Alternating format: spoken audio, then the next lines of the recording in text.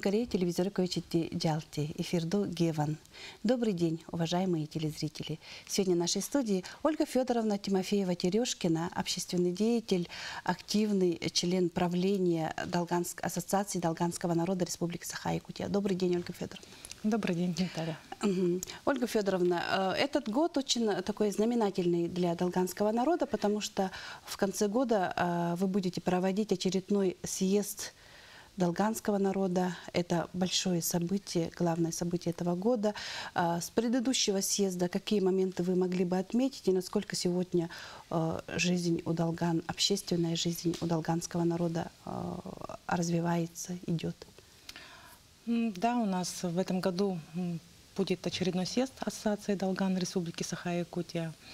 У нас по уставу каждые пять лет мы проводим такого рода мероприятия. А, прошлый съезд мы проводили пять лет назад, в декабре 2015 года в поселке Рюнхая.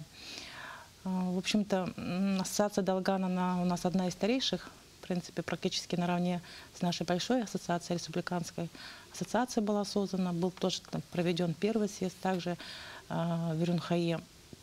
И у нас в основном-то долгане проживают э, в Рюнхае, в Анабарском Алусе ну, около двух тысяч человек. Общая численность нас и так и есть, там более 1900 с чем-то человек. Э, в городе вместе с студентами проживает ну, не более 100 человек.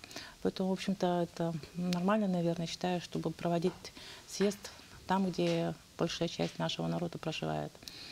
В прошлый раз, когда съезд проводили, у нас председателем был избран э, ну, представитель наш э, Спиридонова Василиса Михайловна. Сейчас мы тоже готовимся к съезду, будем проводить мероприятия. Что касается основных достижений за эти пять лет, я считаю, что ну, перед ассоциацией Долган стоят, в общем-то, такие непростые задачи, как и для всех наших а, коренных народов Республики Саха-Якутия.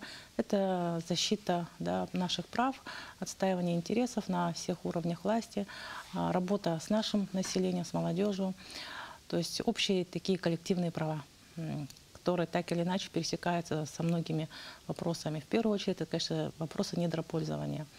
Ну, э, можно сказать, что был сложный период э, для э, наших народов, не только Долган, когда мы не могли найти точки соприкосновения с нашими недропользователями.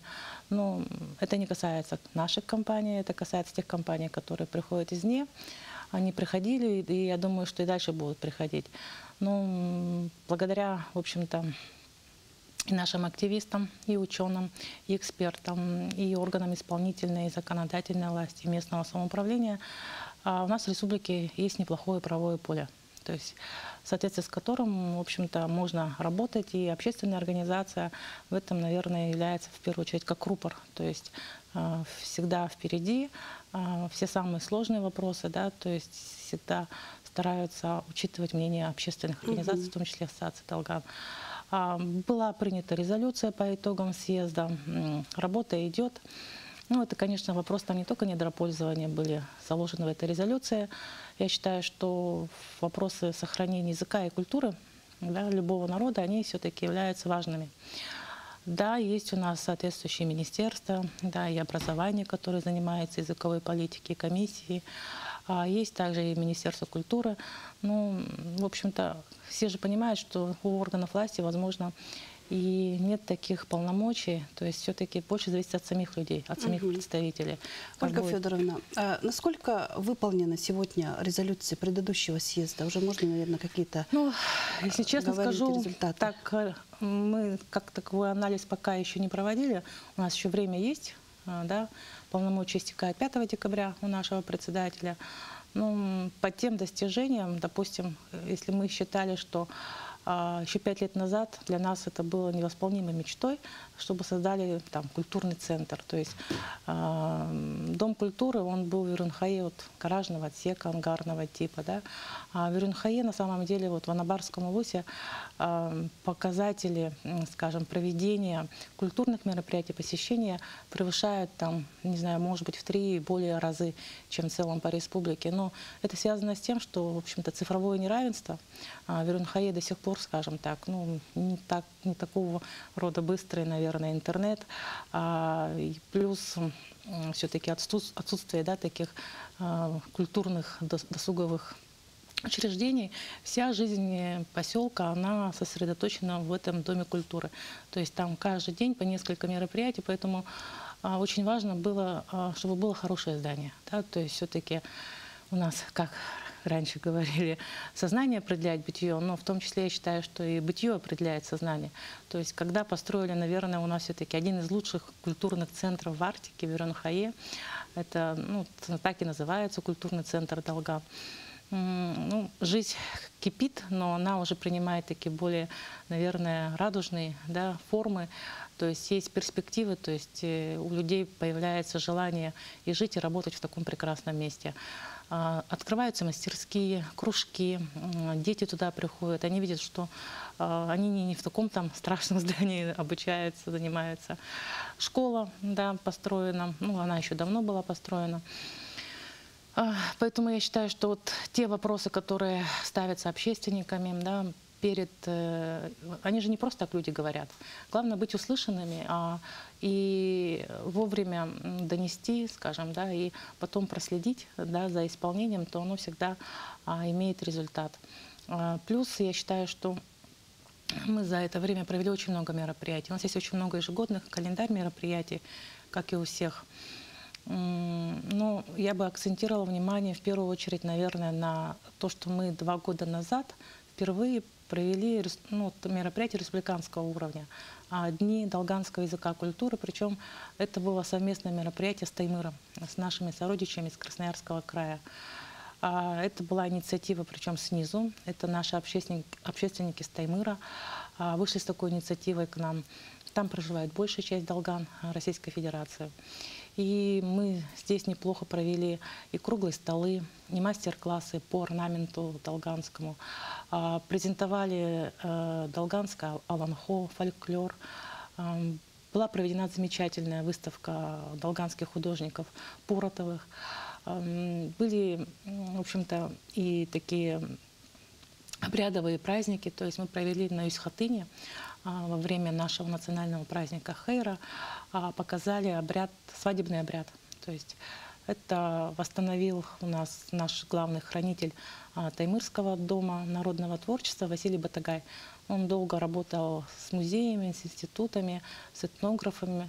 И вот по крупицам буквально восстановил этот обряд. Было очень интересно. Такое было очень большое внимание, в том числе и со стороны СМИ, потому что ну, свадебные обряды, они очень интересные, они очень красочные. И очень важно, что это было такое вот, ну, скажем, не просто такое из фольклора, да, а, а был материал взят в том числе из научных книг. Ольга Федоровна, есть такое расхожее мнение, что долганский народ это все, все равно тот же якутский народ, потому что язык одинаковый вроде бы, но в то же время это как бы северные якуты считается. Но это же неправильно? Ну да, конечно, неправильно. У нас э, в свое время это получается, я когда изучала тоже литературу, хотя я не историк, не этнограф, а, есть такие историки, как Ефремов, Попов, потом Убрятова, говорили о том, что то есть очень долго дискутировали ученые, историки и лингвисты, является ли долганский язык отдельным языком, и в том числе этнографы считали, а являются ли долгане ну, северными якутами. Ну, в общем-то, ученые это доказали, и я не считаю вправе, у меня нет научной степени оспаривать их, да, а, мнение о том, что долганский язык это э, отдельный язык, это не диалект, так же, как и по этнографии, конечно же, долгане это ну, скажем так, это отдельный народ, отличается от якутов, наверное, процентов на 90 как генетически, так и по культурным своим там особенностям, ну и проживание. Да, конечно, близкие, но у нас вообще-то в мире много таких примеров, я даже у нас в Якутии, вены, вен, венки, да, близкие языки, русский, украинский, там, ну, можно татарский, башкирский приводить, но это не означает, что мы являемся одним народом. И я не думаю, что на этом надо акцентировать мнение. Это такое, наверное, больше бытовое да, мнение. Да, это бытовое Да, мнение, это бытовое. Да. Но это, наверное, в том числе и упущение, скажем так, а, наших СМИ и наших э, ученых, а, которые мало об этом пишут, мало об этом говорят. То есть, в общем-то, те, которые интересуются, они, конечно, начинают когда Знают, копаться, да. они об этом узнают. А есть сегодня ученые из числа долганского народа? Из числа долганского народа, к сожалению, у нас в Якутии а, именно э, историков, этнографов пока нет. Ну и, в общем-то, и на кафедре никто из ребят не интересуется. У нас даже нет филологов своих, да, в отличие там, от других народов, у которых там есть свои кандидаты, доктора наук. Ну, это связано по многим разным причинам. Я не думаю, что это связано там с какими-то определенными там критериями, но думаю, что это возможно. Но на Таймыре есть, есть ученые, у нас там есть и доктора наук, и кандидаты наук, которые сами из представителей. А, Мы с ними работаем. Ну, там масса, а, количество людей больше. То есть, э, если сравнить здесь, у нас меньше двух тысяч. Один то- поселок, да, только? Да, один поселок. А в Уренхае сегодня преподается родной язык долганский? Продается только факультативно. Только факультативно. А как обеспечение учебниками? Ну, учебники – это наша больная тема на самом деле. А, Вот как раз-таки мы на прошлом съезде тоже про это говорили, что и давали рекомендации, да, а, Министерству образования рассмотреть возможность, чтобы разработали учебник долганского языка.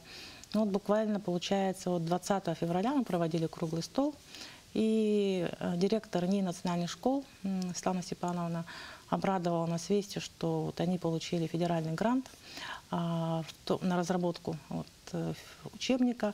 Они подготовили уже, у них был материал, а, чтобы этот, э, эти учебники издать для начальных классов, для преподавания, сколько даже еще и не языка яку- э, долганского, но и а, долганской литературы.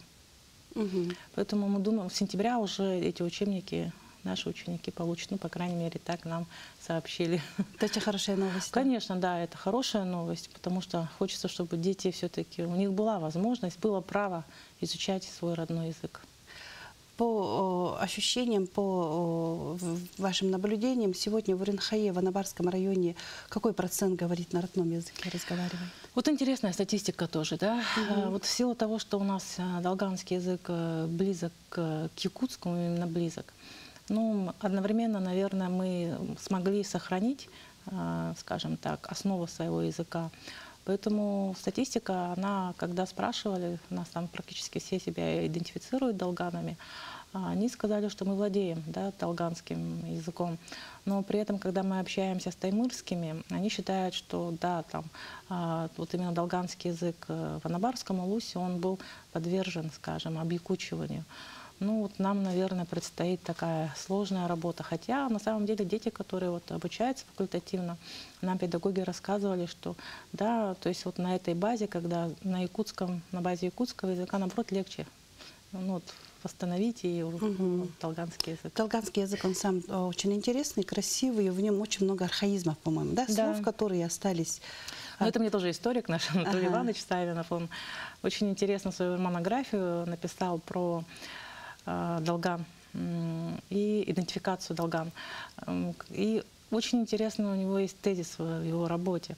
То есть он сам сунтарский, такой очень довольно-таки ну, вырос в якутской среде. А он, как историк, считает, что в силу того, что долгане жили изолированно, да, вот этот поселок практически один, а, далеко на севере, да, то есть э, где не было, скажем, такой большой миграции, у долганского языка сохранилось много архаизмов тюркского языка. То есть вот а, турки тоже, историки, этнографы, филологи интересуются, потому что они считают, что ну, турецкий язык тоже, да, э, как бы первоначально это же тюркский язык, они очень много потеряли, э, очень много стало арабских слов в, в турецком языке, в якутском языке появились там, допустим, много монгольских слов, там и венкейских слов, а вот в долганском есть некоторые слова, архаизмы, которые вообще исчезли, оказывается, из тюркского языка прародителя всех языков тюркских. Ну, это вот так филологи считают, историки в силу того, что вот именно жили изолированно. Возможно, да, вот этим как раз он объяснил, что а, сохранение и развитие долганского языка очень ценно именно в том числе и для якутского языка. Материальная культура Долган очень хорошо сохранилась. Это и э, костюмы Да, это у нас красочные, э, вот и при том они по всем канонам как бы уже шьют сегодня молодежь, да? Да, у нас мастера наши, наши мастера. а, В свое время, в общем-то, ну, и была возможность, да, то есть у нас всегда славились наши долганские а, мастера тем, что сохраняли. Я вот до сих пор помню свою бабушку, а, то есть у нее как-то вот, когда я приехала а, вот уже довольно-таки зрелым человеком в Анабарский УЗ работать, она посмотрела на мои унты, прямо взяла, там все посмотрела, говорит, все, не, все шили, говорит, не так, и узор не тот, э, как-то так это, ну вот. Ну, неправильно. Да, неправильно. И она вот прямо каждого, кто заходил, смотрела унты, интересовалась, шапки, там, хопо, НТК, варежки, то есть, э, и, ну, всегда нам объясняла, как это должно, да, вот шиться. А эти мастера, очень хорошо, что вот э, это передали своим детям, да, внукам. И у нас есть уже плеяда и молодых, и даже школьники у нас как-то увлеченно. Но это рынок, наверное, потому что долганские УНТ не всегда считались интересными, такими качественно шитыми, узор яркий. А, поэтому заказы всегда были. Поэтому, соответственно, это был такой хороший источник дохода. Наши женщины до сих пор, как бы, где бы они ни работали, даже моя мама, живя в городе, она шьет mm-hmm. из меха изделия. Угу. Наверное, все-таки очень сложно было жить в тундре, который 9 месяцев снег, все белое, поэтому, наверное, да. многоцветие. Я вот тоже думаю, наверное, это связано с тем, что... Украшали да, жизнь. Да, потому что очень э, отсутствие полярная ночь. Хотя вот эти цвета, краски на самом деле вот, вот, ну, в орнаментах Э, наших в орнаментах, они взяты из природы. Когда вот у нас было буквально короткое очень лето, но такое яркое, стремительное, даже меньше месяца. То есть когда тундра начинает цвести, там столько цветов, и одновременно я даже, наверное, во многих как в ботанических садах не видела, что такое возможно. И вот когда это летом происходит, да, после затяжной зимы, после полярной ночи, оно настолько сильно бросается в глаза и откладывается в сердце и в душе, что ты потом, наверное, эти орнаменты хочешь перенести вот на свои узоры. Э, надо отметить, что Уренхая по соседству э, с Оленёкским районом и в Оленюкском районе тоже, наверное, долгане живут, потому что у них а, в костюмах встречаются тоже цвета. Да, у нас да? там, ну это связано с административным делением в свое время. Угу. Это же вот эти вот административные нынешние границы, да, они же, ну, в общем, так... Э, Не учитывали, наверное, Нет, в свое время. они просто были другие, да, угу. скажем. Э, до 17 -го года, когда был Енисейский край, Труханский край, да, а, в общем-то, а, Анабарский УС, он в составе, большая часть была в составе Э, Енисейского края, это нынешний правоприемник Красноярский край. А точно так же э, в Оленекском Лусе, да, там часть наших, допустим, Джаленда, там было много наших представителей жило. Это потом уже 30-е годы, когда границы национальных округов составили, там, как всегда, все резали, как положится и ну, не учитывали, наверное, да, что вот в этих национальных поселках, как такого соскалаха тогда еще не было. Соскалах это появился в советское время. Допустим, поселок Уджа, где родилась моя бабушка, он находится ближе к Желенде. А далее потом уже пошло промышленное освоение после войны. Понятно, когда нашли там и э, полезные ископаемые, границы менялись, а меняются не потому, что а у нас народ жил, э, скажем, кормился от природы, впрочем, в принципе, как и сейчас. Кочевой да? народ. Да, кочевой народ, э, который, э, где пересекаются миграционные пути наших диких животных, да, диких оленей, там, птицы. Соответственно, если пути у диких животных, когда человек вмешивается, да, производство меняется, соответственно, и люди тоже идут за за оленями. Идущие за оленем, да. Э, долгане, они же издавна, испокон веков занимаются оленеводством и охотой, да? да? На севере, в принципе, самое такое, наверное, олень. Да, только олень смог и выжить. Он у нас и кормилец, он наш и одевает, и у нас и возит. Поэтому везде в Арктике. Ну, мы можем гордиться тем, что первый герой Советского Союза, да, ну, соцтруда, а, был Илья Константинович Спиридонов. Очень хорошие показатели, то есть э, хозяйственное отношение. Ну, там очень много инновационных вещей он в свое время внедрил, да, когда работал в стаде. И поголовье линей-то у нас ну, в Арктике и в советское время, и, в принципе, и сейчас мы ну, хорошие, в отличие, наверное, от других арктических регионов, не только Якутии, но и России, и мира. То есть угу. сокращение оно шло, А как-то вот в Анабарском Лусе, Долгане у нас славится тем, что у нас потомственные ленивоческие семьи. Мгм. Я знаю, что в Уренхае живет замечательный мальчик, который рисует мультики. И я хочу предложить сейчас посмотреть мультфильм.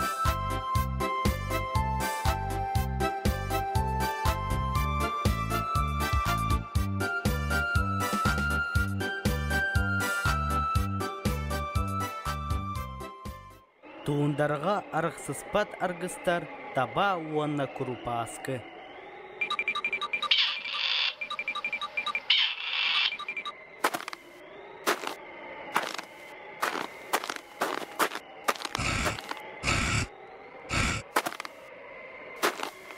Табачан, а табачан. Әйгін карабин. кірібін, онна толкуйда да толкуйда болды. Ха, ол жатығы толкуйда өгіннікі. Антан ән түргеннік қары қағын бітірген.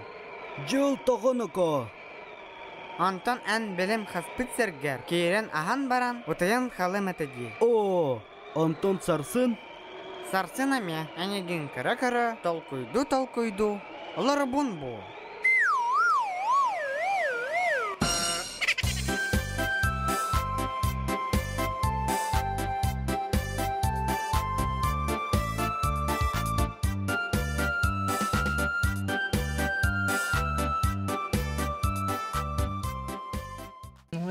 Наша тоже, наверное, национальная особенность, я заметила, у северян именно, да, арктических наших представителей коренных народов. а, Очень развито образное мышление. И очень, практически все умеют рисовать а, и петь. То есть абсолютно музыкальный слух и чувство цвета. Есть такое. Да.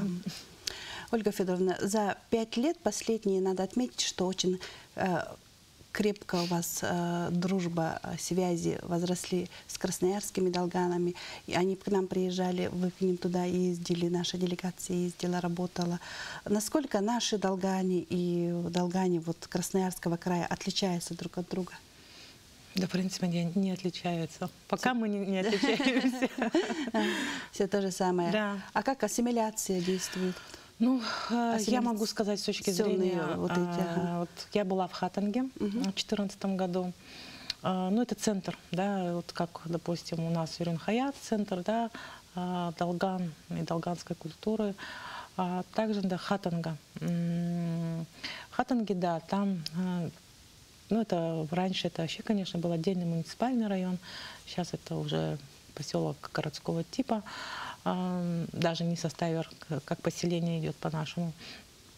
Там есть большая школа-интернат для детей, которые, ну, родители которых занимаются оленеводством. И, ну, да, там, конечно, они сохранили свой язык и культуру, но они говорили, что у них как таковых а, перспектив нет, потому что молодежь у них уезжает Дудинку. И носителей очень мало осталось а, языка. То есть э, те, которые переехали в Дудинку, они, к сожалению, это город, рядом еще Норильск, Норникель.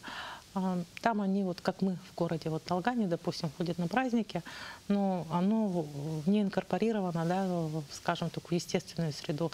В Дудинке проживает там, ну, в том числе не только Долгане, там и другие народы. А Хаттенге, оно такое, скажем, утихающее, утихающее, в отличие, скажем, от нашего Уренхаи, где прямо вот чувствуется энергия, задор, желание, да, люди знают, что у них все получится, инициатива есть, то у Хаттенге какая-то немного вот у людей ощущение беспросветности. Я думаю, что все сложится, все будет хорошо. Ну, Спас- По-другому и быть не может. Да, и быть не может. Э, Ольга э, Федоровна, я вас благодарю. Э, Будем еще работать вместе во благо своих э, народов, сородичей. Спасибо, Наталья. Я уверена, что общими силами, чаяниями, мысли нематериальные, у нас все получится. Мгм. Спасибо большое. Уважаемые телезрители, сегодня у нас в студии была Ольга Федоровна Тимофеева-Терешкина, общественный деятель, член правления Ассоциации Долганского народа Республики Саха-Якутия. На этом мы прощаемся с вами. До следующих встреч в эфире. Эрит Мэнбуривур Мудакраб Аймакан.